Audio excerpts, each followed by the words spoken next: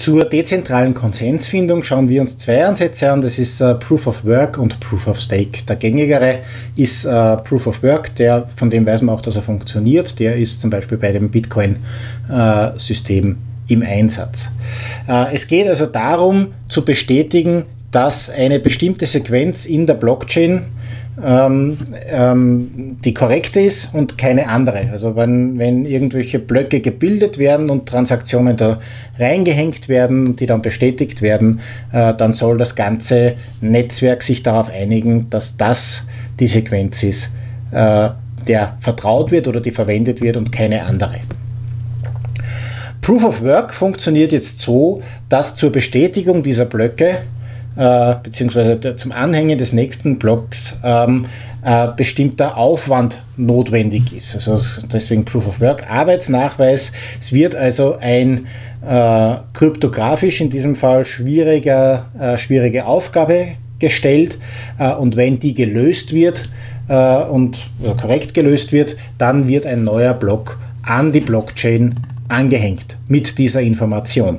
Ähm, das heißt noch nicht, dass wir dann Konsens haben, da kommen wir dann gleich dazu, aber diesen ersten Schritt muss man zuerst einmal äh, verstehen. Das heißt, ähm, es gibt einen Block und dieser Block also Transaktionen wurden gesammelt, der Block ist voll und jetzt soll er bestätigt werden.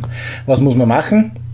Ähm, man möchte äh, eine Aufgabe haben, die Aufwand verursacht in der Berechnung, die aber ganz einfach nachgeprüft werden kann. Also es hilft uns nichts, wenn dann alle Clients im Netzwerk erst recht wieder Rechenaufwand investieren müssen, um zu prüfen, ob die Aufgabe korrekt ähm, gelöst wurde.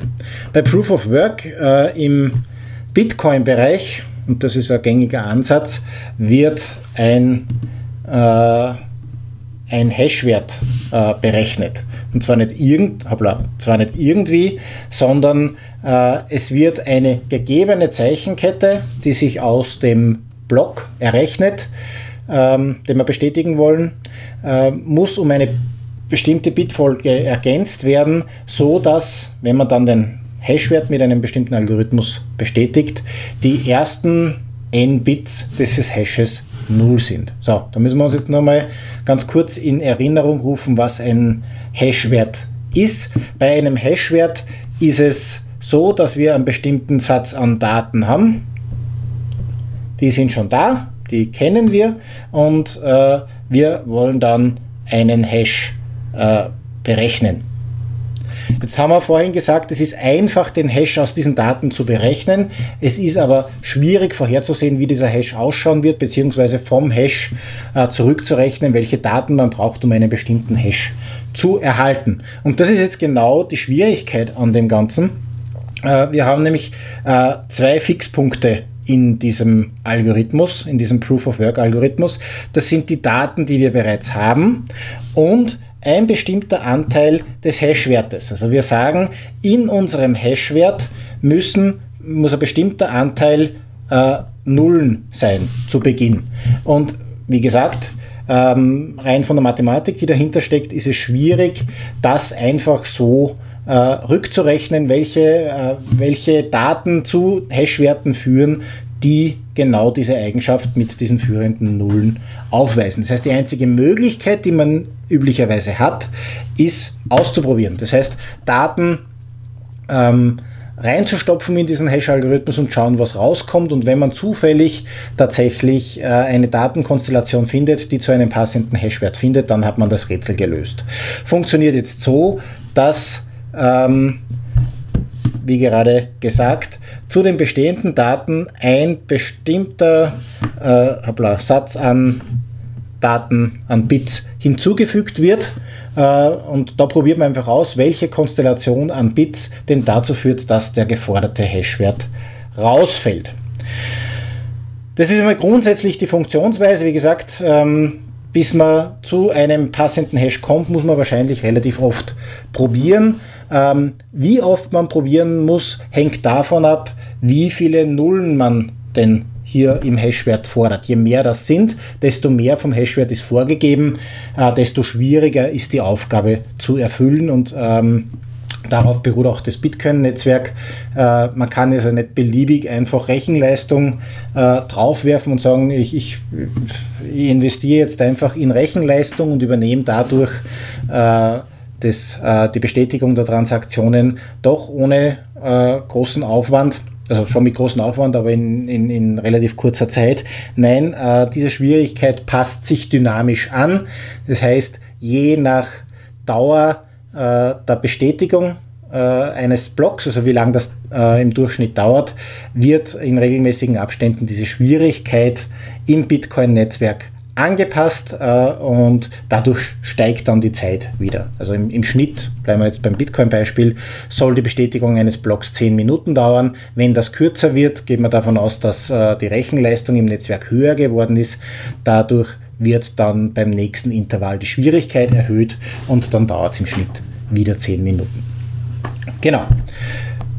Diesen Prozess der Suche eines passenden, äh, einer passenden Bitfolge, die äh, zu einem bestimmten äh, Hashwert führt.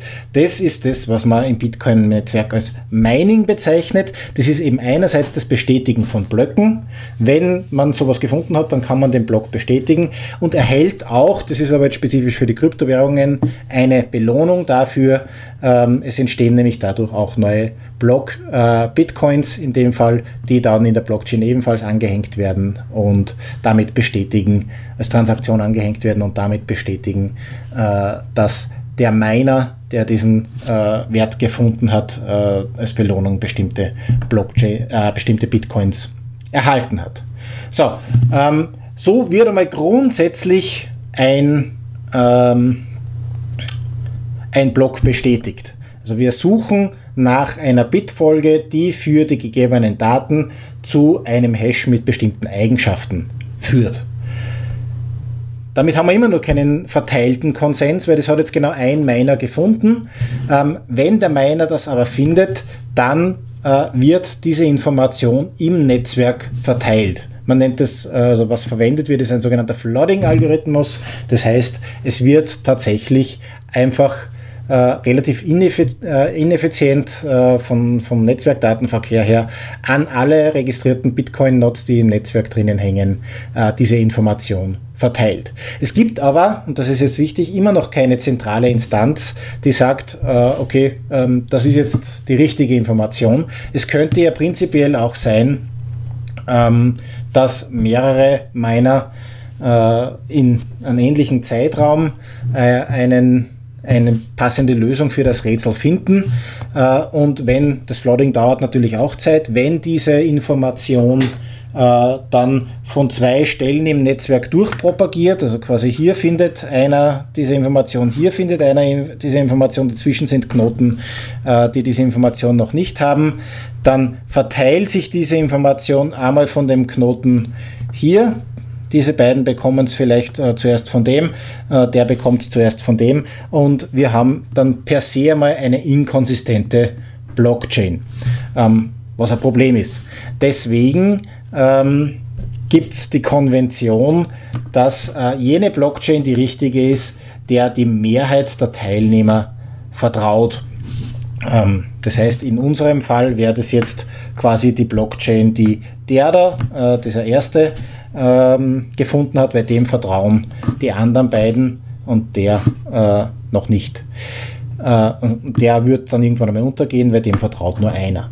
Wie machen die dieses Vertrauen jetzt fest? Äh, das Vertrauen macht sich fest daran, äh, welche Blockchain denn die längere ist, also wo mehr Blöcke drinnen hängen. Ähm, die Überlegung ist folgende. Ähm, für die Bestätigung eines Blocks äh, brauchen wir ja Aufwand. Und weil der Aufwand und damit Kosten dahinter stecken, ähm, vermuten wir, dass dort, wo die meisten Blöcke drinnen sind, auch die meiste Rechenleistung drinnen steckt und dass das die vertrauenswürdigere Blockchain ist. Was bedeutet das jetzt in letzter Konsequenz? Das bedeutet, dass man äh, nicht sicher sein kann, dass sich, äh, dass eine, ein Block, der gerade bestätigt wurde, auch der ist, dem langfristig vertraut wird. Ja, erst wenn dieser Block nach hinten rutscht, je länger dann die, die Folge an Blöcken ist, die davor hängen, desto vertrauenswürdiger wird dieser Block, denn desto länger wird die Blockchain. Es kann also passieren, wenn sich im Netzwerk äh, ähm, ein sogenannter Fork bildet, also wenn an unterschiedlichen Stellen gleichzeitig oder quasi gleichzeitig eine Lösung des Rätsels gefunden wird, dass dann zwei konfliktionierende Blockchains existieren, wo man nicht von vornherein sagen kann, welche sich durchsetzen wird. Das bildet sich erst mit der Zeit heraus. Auf der anderen Seite kann man, und auch das ist bei Kryptowährungen passiert, das auch ganz bewusst machen, ganz bewusst einen Fork machen, um zum Beispiel zu sagen, okay, äh, in meinem Wirkungsbereich gilt ab sofort äh, die eine Blockchain und was der Rest der Welt macht, ist mir egal. Da kann gerne die andere weiterwirken. So viel zum Proof of Work. Ähm, wie gesagt, wichtig ist äh, hier zu verstehen, wie das Bestätigen der Blöcke funktioniert und das über die Annahme, ähm, dass äh, die Rechenleistung und die damit verbundenen Kosten ähm, die Vertrauenswürdigkeit steigern. Je mehr Rechenleistung in einer Blockchain steckt, desto vertrauenswürdiger ist sie. Dadurch wird der Konsens hergestellt. Das heißt, je mehr äh, Knoten eine lange Blockchain haben und dieser äh, Vertrauen, desto äh, vertrauenswürdiger ist die dann insgesamt und ähm, über die Zeit stellt sich so ein konsistenter Zustand im Netzwerk ein, wobei jeweils der letzte Block oder die letzten Blöcke immer wieder ähm, immer wieder ähm, noch volatil sind, das heißt nochmal rausfallen können, weil vielleicht irgendwo konfliktionierende Information besteht. Ein grundlegend anderer Ansatz ist der Proof of Stake Ansatz, den nur ganz kurz, weil der noch nicht sehr viel praktische Relevanz hat. Ähm, die Idee ist hier im Gegensatz zum Proof of Work, wo also Rechenleistung reingesteckt werden muss, was, wie man beim Bitcoin-Netzwerk mittlerweile sieht, äh, direkte Umweltauswirkungen hat, was zu Problemen führt in der realen Welt, ähm, dass man einen sogenannten Anspruchsnachweis einbringt. Bedeutet, ähm, dass der Konsens so hergestellt wird, dass ähm, ein Knoten zufällig ausgewählt wird, der bestimmen darf, welche äh, Transaktion denn als nächstes äh, in die Blockchain eingehängt wird. Ähm, diese Zufallsauswahl ist zwar zufällig, die Wahrscheinlichkeit, dass ein bestimmter Knoten gewählt wird, ist allerdings nicht äh, gleich verteilt, sondern ähm, wird äh, so verteilt, dass, ähm, dass die Clients, die validieren dürfen, äh, dadurch bestimmt werden, dass sie einen Teil des Guthabens, also der, des Dateninteresses, das sie haben, zum Beispiel dann bei einer Kryptowährung einen Teil des Kryptoguthabens, ähm, in einen Account einzahlen, also sperren, sich dazu committen, dass sie nicht ausgeben. Und je höher dieser Betrag ist, den sie hinterlegen als Sicherheit, desto wahrscheinlicher ist es, äh, dass der äh, dass dieser Teilnehmer den neuen Block bestätigen darf. Das heißt, je wahrscheinlich, also je höher dieser Stake ist, also je höher das Guthaben ist, desto eher kommt man an die Reihe, einen Block zu bestätigen. Und äh, über diesen Stake äh, ist dann festgelegt, dass die anderen Teilnehmer auch vertrauen